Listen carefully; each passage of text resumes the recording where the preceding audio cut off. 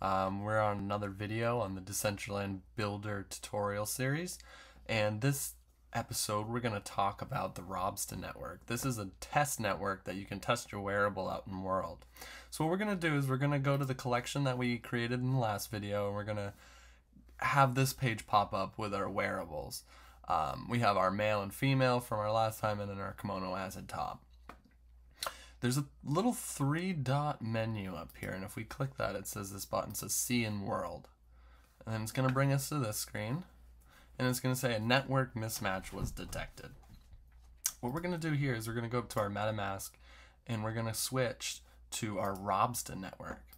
The Ropsten network is our test network that we can use in the Decentraland Builder. We're going to hit play as guest. We're going to sign it.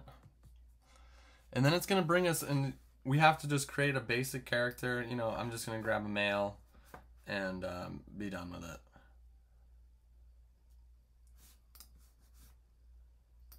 And we hit done. And then we're just going to write a test for our thing. And, you know, you do all your agree.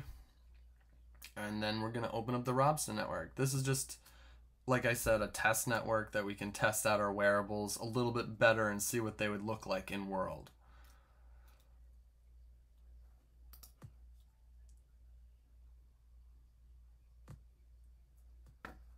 Alright, and it's going to bring it to the tutorial. You can skip the tutorial um, by, by hitting F and it says, do you want to quit the tutorial and say yes, because we just want to test out our wearables.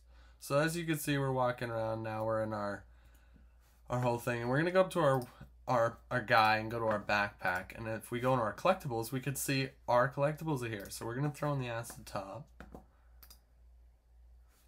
And now we can see it better in game, what it's going to look like, the emission and everything. We can run around, and I see that my dress is swaying that I want it the way I want it to you know, with my wearables, I really try to make it realistic. You know, going in and out of the Ropsten network can really help you with weighting and everything.